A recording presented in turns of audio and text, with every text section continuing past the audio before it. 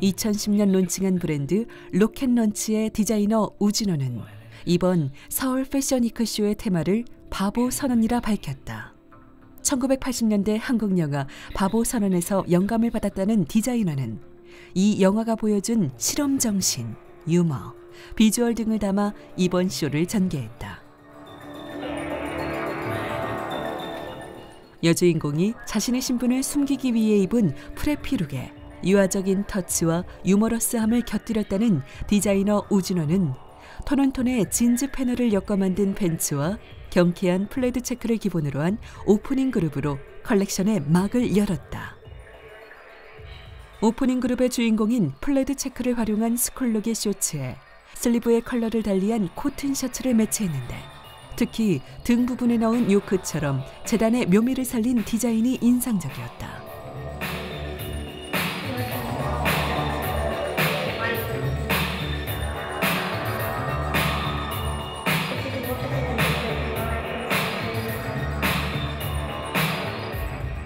컬러 그라데이션과 함께 버튼으로 이은 프런트의 패널을 이용한 long 데님 셔츠. 이에 매치한 tone on tone 패치워크로 자연스러운 그라데이션을 연출한 팬츠로 색다른 청청 패션을 완성했다.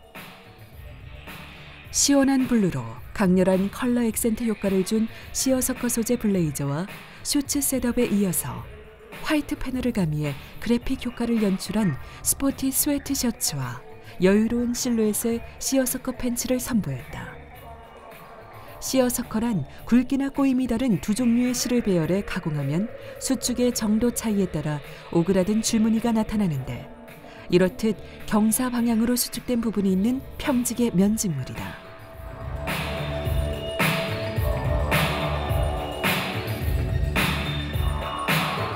시즌에 걸맞은 시원한 블루 컬러의 스웨이드 블루종에는 cropped 셔츠와 시어서커 셔츠를 매치하고 강렬한 오렌지 컬러의 아이섀도를 비롯해 80년대의 상징인 oversize의 링 이어링으로 스타일링을 완성했다.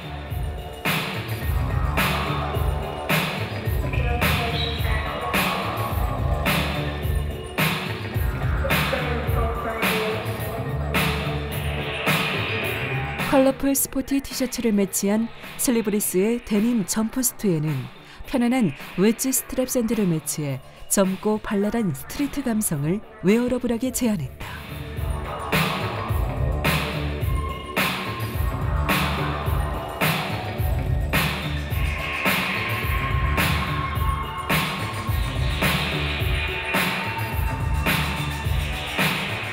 이어서 버튼 디테일의 패널 스커트에는 브랜드명인 로켓런치의 알파벳 R과 L을 모티프로 하고 집업 프런트로 sporty 터치를 가미한 long varsity 코트를 매치해 등장시켰다.